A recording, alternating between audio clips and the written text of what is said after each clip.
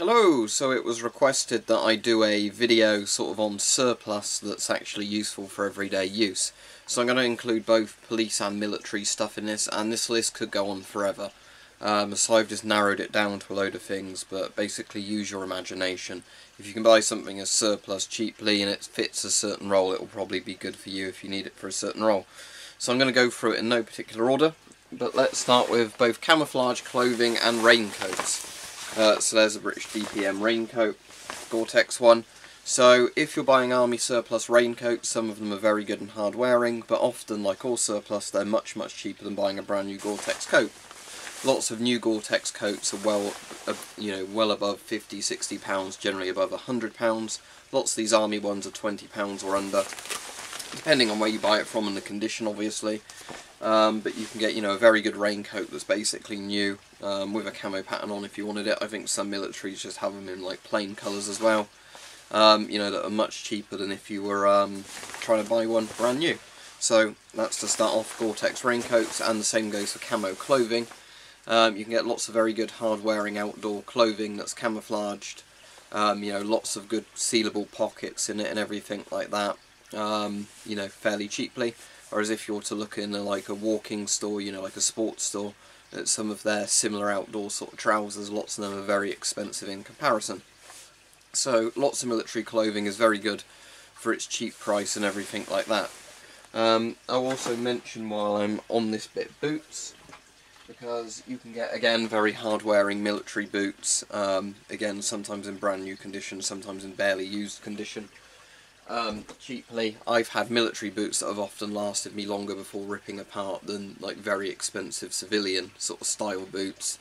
So that's a thing to bear in mind. I think Doc Martens might be the exception to that.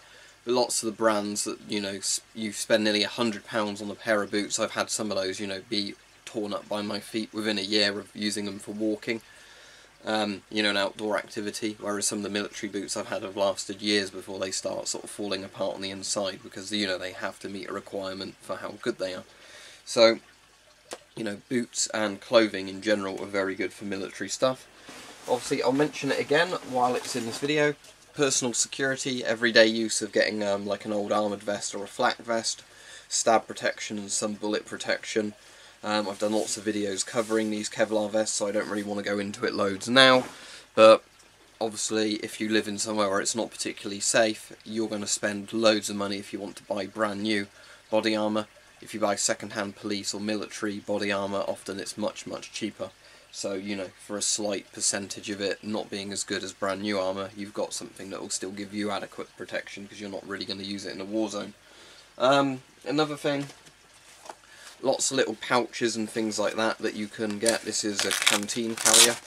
But, um, you know, there's lots and lots of little pouches that you can get to attach to belts and sort of jackets and things like that. Obviously, a lot of these are designed to clip onto body armour, but just very good for general storage and everything like that. So, if you wanted to get something to, you know, use in those conditions or whatever, lots of these little pouches are very, very good for that, even if you're using it as some sort of tool. Um, type thing. You could put some tools like screwdrivers in there. If you were working on a roof or something, you could have that on your belt with a load of tools in here. You know, take them up and down the ladder using something like this because, you know, it seals and obviously it's going to be fairly secure with stuff in there with it in there. So, you know, lots of just little ideas like that. Going back to clothing, there's lots of sort of magazine pouches and things like that that you could repurpose to hold other things. Just going back to uh, clothing, M65 jackets and all the similar sorts of jackets, these are very good. I love M65 jackets and I've done videos on them before. Um, I've got one in my car with the liner out at the moment because it's the summer and I don't really want a liner in the jacket during the summer for obvious reasons. Even though today's sort of rainy and horrible, but I'm glad it's raining because it's cooled everything down and watered all the grass. Um, but yeah, M65 jackets for me are kind of like an all year round jacket. You can get them in loads of colours and camo patterns. But in general, it's like a jacket you can take the liner in and out and they're very robust and good. Some people prefer other jackets, but you know, the M65 is what it is and I really like them. Similarly, uh, speaking of pouches, you can buy military backpacks very cheap. This one I think was about £10. I can't remember how much I paid for it. This is the one I keep meaning to set up a rough sleeping bag in and haven't got round to yet. Um, but you know, the point is that you can buy military backpacks of very big capacity and lots of useful things. Sometimes very similar to you know like other branded ones that aren't military surplus ones. But the military surplus ones like ten to twenty pounds, not sixty to hundred pounds for the um, you know like sports brand ones basically. Gas masks, respirators. I've gone over these loads of times before, but the great thing about a gas mask or as a respirator is you can use it when doing housework. If you're working with chemicals that are hazardous, you know, you can have it with your filter on doing that. If you're drilling or um, sanding or grinding, anything like that, which is putting lots of particles into the air, you can use it with just your particulate filter on there. You know, it'll give you eye protection from sparks and flying shards of stuff. Um, you know, and it'll also stop you breathing in the hazardous dust. So there's loads and loads of uses if you think where a paint spraying respirator or anything like that could be useful. A surplus gas mask could probably do all the same jobs better if you don't mind something that's a bit bulkier and heavier. But, you know, there's lots of times I end up using mine for random stuff because I've got them all around and why not? Right, we'll go over helmets, but Riot helmets, uh, very good if you just want something for head protection. Now, I don't know if I can really recommend these for like motorcycle use and stuff like that, because I know some Riot cops do have like combined motorcycle Riot helmets. But, um, you know, I don't know how well these would protect your head in a crash, because they're not designed to really, you know, protect you from um, a motorcycle crash or something like that. But the point is, these would be very good for head protection.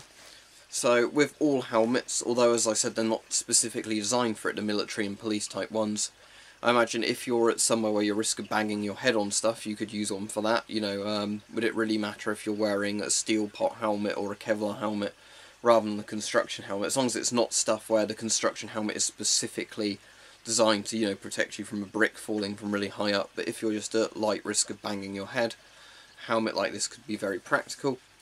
Obviously, if you did some sort of security job where uh, you needed to supply some of your own security equipment, a Riot helmet would be perfect for that.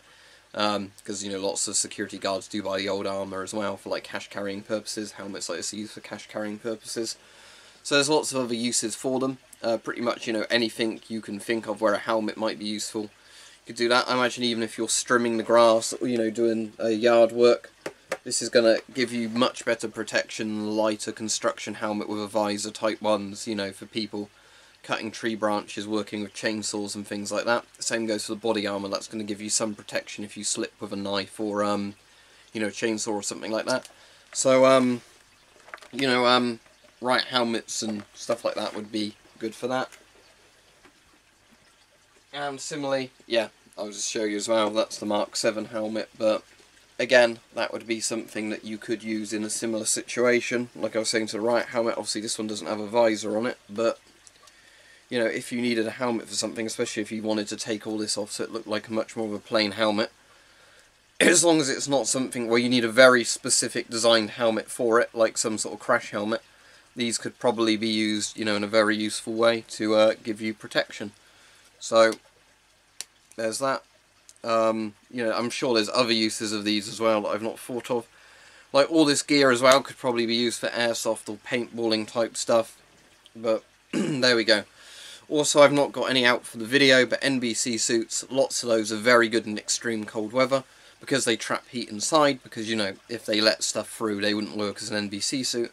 I've said this before, but I found NBC suits are absolutely brilliant when you want something for um, extreme cold weather use because they trap the heat inside. So, you know, rather than putting on several jumpers in, you know, like minus conditions, you can just put an NBC suit on with, you know, shorts and a t-shirt on underneath or whatever else, and they actually keep you very, very warm. And then obviously if it was colder, you could then put extra layers on under the NBC suit. But, you know, there we go. That's the video. Um, hopefully this has given you some ideas. But yeah, the point is, as long as your imagination is good enough, you can think of very good utilities for lots of this surplus stuff. Whereas, um, I'm saying the main thing is just how much cheaper lots of this surplus is. If you were to, um, you know, try and buy a lot of this stuff new, a lot of it is triple plus the price. Um, even sometimes it's cheaper to buy surplus full-size gas masks than it is to buy the most basic 3M mask with filters. So that gives you, you know, you know some idea of the difference in price. So, there you go. Hopefully this video has given you some ideas. As I said, there's plenty of more things that could be used.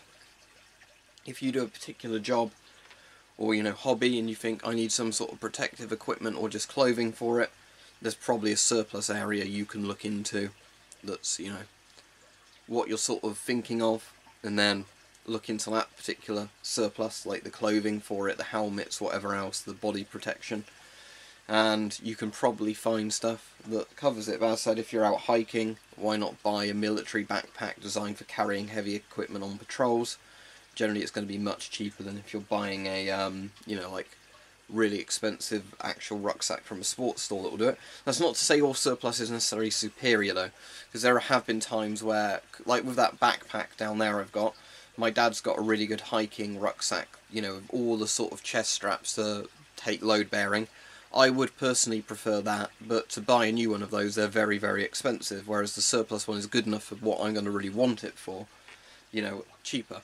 So that's so my point is it's not always to say sometimes yes there will be times you will need the very specialised excellent equipment but most of the time you can get away with um, especially if you're just doing something casually uh, getting surplus that's far good enough for what you need but you know you're not going to waste loads of money on it especially when I think when it comes to body armour as we've said before, because the risk is that, you know, if you're at a very low risk of being stabbed or shot anyway, or, you know what I mean, like, you're not somebody who's specifically a target because you're just somebody out and about, so if somebody mugged you and stabbed you, you're much lower risk than the policeman who might specifically be targeted or security personnel.